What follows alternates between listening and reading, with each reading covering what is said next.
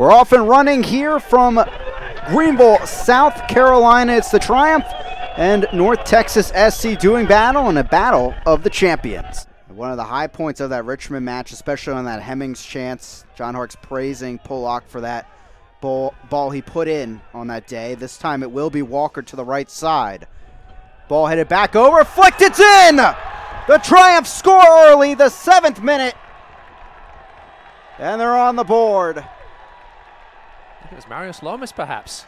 Let's take a look here on the Green Cloud defense replay. Yeah, floated in by Aaron Walker. Greenville loves these back put. I'm not sure if that was an own goal or if Lomas Lomas is claiming it. That's for sure. Muhammad, open space, getting a cheer from the fans. Now Smart and edge of the box. Booth puts it on frame. They'll take another in the first half. 2 0 to the Triumph. It's Andrew Booth. Another lovely ball by Abdi Mohammed.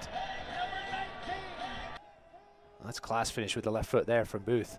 I was thinking about potentially starting him here today, but he comes off the bench once again, like the match against Fort Lauderdale. See, perhaps Waldeck go to center to left back, I assume.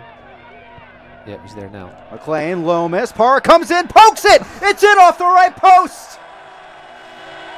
Make it three for the Triumph back at home here in 2021.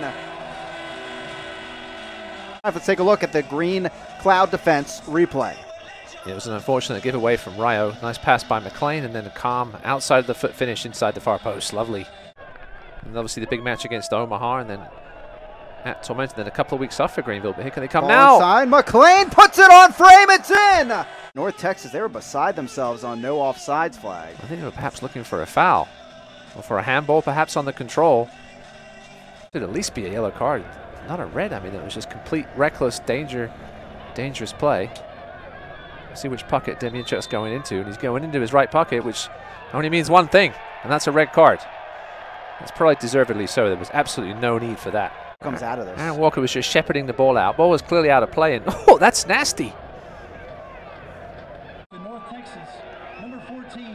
You can't come across from the substitutes bench and come to the other side of the field and expect not to get sent off. So an early shower from Mr. Kazu. Good work there from Viniegro. I was going to say good work from him. He's going to, oh, I thought maybe he had a chance at a strike there. Almaguer fires and into the side netting. A good look. It's more like it from North. There's the final whistle. A dream start and finish for the Triumph in their home opener. 4 nothing over North Texas.